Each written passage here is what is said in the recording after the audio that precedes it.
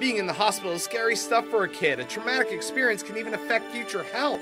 Coming up, how one local hospital is trying to ease those fears.